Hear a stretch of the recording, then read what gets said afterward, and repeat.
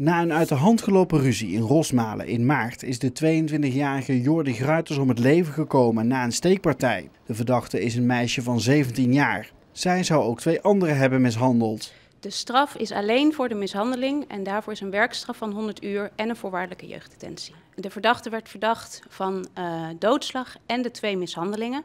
Voor de twee mishandelingen vragen wij dus een veroordeling.